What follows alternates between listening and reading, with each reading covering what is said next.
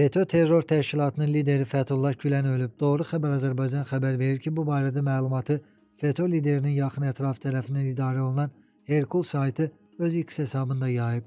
O dünən yerləşdirildiyi xəstəxanada həyatını itirib.